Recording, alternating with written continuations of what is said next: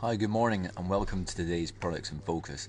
And what a difference a day makes. Now, the US markets actually recovered quite strongly, but most of the European markets are still firmly in the red. Um, following yesterday's kind of right on oil, uh, a lot of uh, concerns that the uh, currency situation um, kind of globally with the strength of the US dollar is going to spiral out of control for the emerging markets, and obviously those snap elections in Greece, which is obviously putting everybody on edge uh, about what's going to actually go ahead and happen next.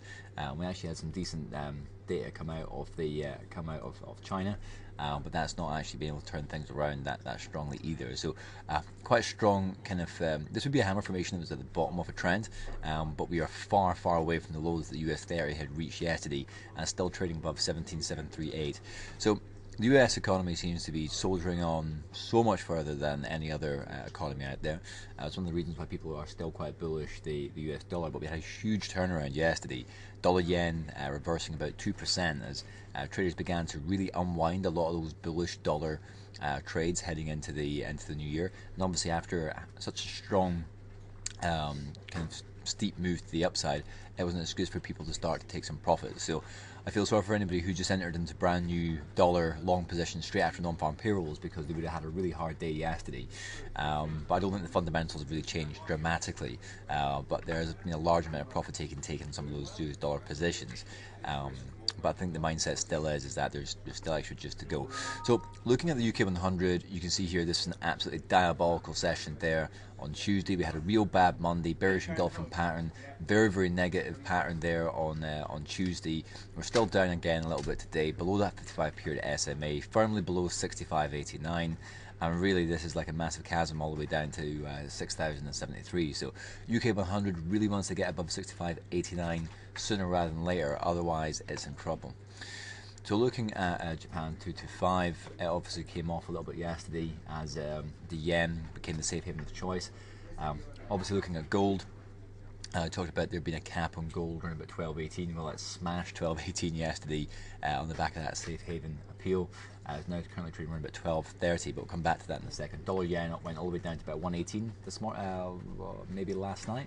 Um, so it's been quite a tumultuous uh, time for dollar yen traders, but that, that obviously caused the Japan 225 to come off. Uh, we are, however, just about trading on potential support slash resistance at 17,496. Um, the technicals are all over the place right now uh, because of the volatility, but uh, we could still be on track if we can just get a, a close above 17,496. That would certainly help uh, um, Japan 225. But it'd be just interesting to, to see how things unravel today and tomorrow if we are actually seeing a, a period of risk off, or if this is literally just a huge bit of profit taking um, across a lot of the uh, the dollar majors, uh, and that obviously impacted dollar yen quite quite quite a lot because of the, those extreme moves it's already gone through. And the one product that everybody's kind of pointing to as to a major driver of uh, this kind of market volatility is the price of crude oil. And you couple that together with the, with the US dollar and implications that stronger US dollar in emerging markets. Um, again, you know, obviously all the all the US dollars that have been utilized and been borrowed by those emerging markets and what those companies in those emerging market areas have, have gotten a lot of their debt off.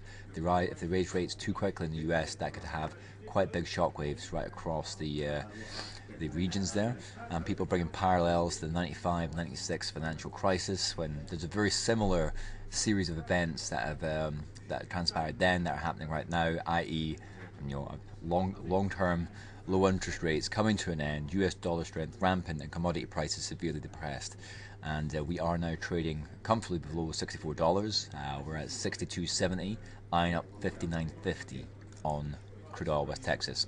So gold had a very strong day yesterday, smashing through 1218, looking at 1242.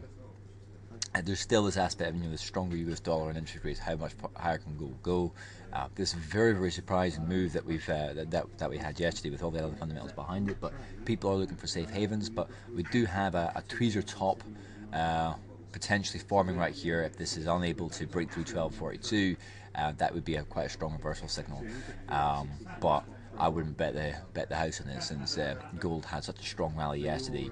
Um, and we just need to get a a flavour as to where our US dollar is going next. Uh, it does feel like that, that pressure is very short term, transitory in nature. So finishing up with uh, with euro dollar again because the greenback uh, strength came off, we actually broke above 12 uh, one spot 23.67. We've been pushed right back down again, so the dollar kind of wrestling control a bit of the euro, especially those um, Greece elections going on. Lots of uncertainty about Greece uh, bailout, IMF stuff. Um, so we are currently pretty much bang on that level. Could be an interesting pivot for a move lower if um, things get a little bit more dicey in that part of the world. I'm finishing up with GBP USD. Uh, cap at that 21 period SMA, well, seemingly cap at that 21 period SMA. Um, resistance one spot 57.43. Potential support still remains one spot 56. So economic data wise, just to finish things up, uh, as I said, we did have some uh, some Chinese data that came out uh, slightly better than. Um, than expected from, uh, oh, sorry, no, slightly worse than expected. Sorry for the for the CPI and uh, PPI. It was Monday's data that was that was quite good, and um, there's not a huge amount today. And obviously Thursday is when we've got a little bit more. We do have jobless claims and retail sales. Uh, make sure you've got your alarms set for that on the economic calendar. And uh, as ever, keep your eye on the chart forum. Um, you can see here there's been lots of real great updates here from uh, Jasper Lawler, our UK market analyst, um, talking a lot about the big breakouts in, in gold make sure you make insights part of your layout so you can be um, so you can be informed. As you can see, market online surprises. But got three from China, Greece, and Tesco yesterday. Um, and with China, it's all about potential stimulus and everything else. Uh, everybody's all worried about potential slowdown in the world's second biggest economy. And basically, join me again tomorrow to find out what happened next.